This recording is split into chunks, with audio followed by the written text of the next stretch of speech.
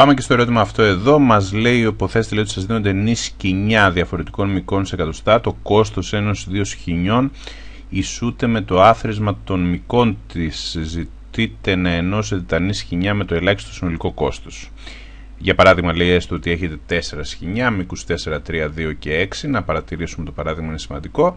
Αν ενώσετε, λέει πρώτα τα σχοινιά μήκους 4 και 3, εντάξει, τότε θα πληρώσετε ήδη ένα 7. Αμέσως μετά έχετε 3 σχοινιά μήκους 7, 2, 6. Ε, να το συμβολήσω 7, 2, 6 και εδώ πέρα θα πάμε να ενώσουμε λέει, τα σχοινιά μήκους 7 και 2 οπότε θα πληρώσουμε ακόμα 9 τώρα πλέον έχουμε 2 σχοινιά μήκους 9 και 6 οπότε θα πληρώσουμε το κόστος το οποίο είναι 9 και 6 ίσον 15 εντάξει. Ε, το συνολικό κόστος που έχουμε πληρώσει είναι 9 και 7, 16 και 15, 31. Τώρα, α, μας ζητάει αμέσως μετά να θεωρήσουμε έναν άπλιστο αλγόριθμο. Τώρα, με το που ακούς εσύ άπλιστο αλγόριθμο, πρέπει να σκεφτείς το εξής ότι εδώ υπάρχουν δύο περιπτώσεις. Ή ότι θα είναι ορθός, οπότε αν είναι ορθός θέλει απόδειξη ορθότητας, μια σκληρή, σχετικά δύσκολη απόδειξη η οποία απαιτεί χρόνο και αν είναι λάθος ο αλγόριθμος θα πρέπει να τον καταρρύψει με ένα αντιπαράδειγμα. Άρα λοιπόν και δεδομένου του γεγονότος ότι εδώ ε, η βαθμολογική ανταπόδοση του θέματος είναι χαμηλή, θα πρέπει να λειτουργήσει λίγο πονηρά και να σκεφτείς ότι μάλλον ο αλγόριθμος δεν θα είναι σωστός. Εντάξει. Και λέει ο απλός αλγόριθμος ενώνεται πρώτα λέει το μεγαλύτερο με το μικρότερο σε μήκος σκηνιά και επαναλαμβάνεται μέχρι να τελειώσετε όλα. Α, πάμε να το φιλοσοφήσουμε λιγάκι κιόλας. Έτσι, καταρχάς να παρατηρήσουμε ότι μέσα στα αθροίσματα τα οποία φτιάχνουμε, δηλαδή όταν φτιάξαμε το πρώτο άθροισμα είχαμε το 4 και το 3, σωστά; Αμέσως μετά όταν κάναμε το 7 και το 2 προσθέσαμε ακόμα μία φορά το 4 και το 3 το οποίο είναι το 7 και προσθέσαμε αμέσως μετά και το 2. Και τέλος την τελευταία φορά που κάναμε το άθροισμα προσθέσαμε το 9 το οποίο τι ήταν, ήταν το άθροισμα 4 και 3 και 2 εντάξει και αμέσως μετά πήγαμε και προσθέσαμε επιπρόσθετα και το 6 τι θέλω να πω δηλαδή εδώ, ότι α, στην ουσία όσο πιο γρήγορα προσθέσει έναν αριθμό, αμέσως μετά τον βλέπουμε να επαναλαμβάνεται πολλές φορές, δηλαδή το 4 το προσθέσαμε τρεις φορές, το 3 το προσθέσαμε επίσης τρεις φορές, το 2 το προσθέσαμε μόλις μία φορά, άρα πιθανότατα θα μας συνέφερε περισσότερο να προσθέτουμε πρώτα τα μικρά σκηνιά.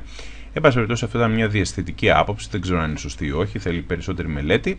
Αλλά αυτό που έχει ουσία είναι να πάμε να τρέξουμε τον αλγόριθμο. Κατάλαβες και να δούμε αμέσως μετά, να προσπαθήσουμε να στήσουμε ένα αντιπαράδειγμα. Δηλαδή, τι σημαίνει να βρούμε ε, στην ουσία ότι ο αλγόριθμος δεν επιστρέφει την ορθή λύση. Πάμε λοιπόν και τρέχουμε τον αλγόριθμο, ο αλγόριθμος επιστρέφει και θα πάμε να τον τρέξουμε πάνω στο συγκεκριμένο στιγμιότυπο το οποίο δεν είναι εκφώνηση. Τι πιο λογικό, αφού μας έχει ένα συγκεκριμένο στιγμιότυπο, να τρέξουμε πάνω στο στιγμιότυπο αυτό. Να το τονίσω κιόλας βέβαια ότι είναι στο στιγμιότυπο της εκφώνησης. Αρχικά λοιπόν τα σκηνιά που έχουμε στη διάθεσή μας έχουν μήκη τα οποία είναι να τα ταξινομήσω κιόλας 2, 3, 4 και 6 και ο αλγόριθμος λέει να πάμε να τσιμπήσουμε το μεγαλύτερο με το μικρότερο. Συνεπώς το πρώτο κόστος που θα πληρώσουμε είναι 6 και 2 ίσον 8. Εντάξει. Αμέσως μετά τα σκηνιά που έχω στη διάθεσή μου είναι το 3, το 4 και είναι και επίσης πλέον το 8. Θα ενώσω το μικρότερο με το μεγαλύτερο, άρα αυτό το οποίο θα πληρώσω θα είναι 8 ε, και 3 ίσον 11 και τώρα θα έχω ένα σκηνή με μήκος 4 και ένα με μήκος 11 θα τα προσθέσω τώρα το μικρότερο και το μεγαλύτερο και θα πληρώσω αυτή τη φορά 11 και 4 ίσον 15 το συνολικό κόστος λοιπόν του, της εφαρμογής του αλγορίθμου μου είναι ίσο με 15 και 11 μας κάνει 26 και 8 34 χαράς σε Ευαγγέλια γιατί εδώ πέρα το στιγμιότυπο που είχε η εκφώνηση ήδη με το παράδειγμα το οποίο μας έχει δώσει υπάρχει καλύτερη λύση η οποία έχει κόστος 31 όμως υπάρχει καλύτερη λύση και εδώ δεν αναφέρω ότι είναι βέλτιστη γιατί δεν το ξέρω αλλά αυτό που ξέρω είναι ότι το σίγουρο ο αλγόριθμος μου δεν είναι σωστός εντάξει. υπάρχει καλύτερη λύση με κόστος 31 εντάξει, με μικρότερο κόστος το οποίο είναι και πάλι το παράδειγμα της εκφώνησης. Και εδώ τώρα τελειώσαμε στην ουσία, άρα ο αλγόριθμος, άρα ο αλγόριθμος δεν είναι βέλτιστος.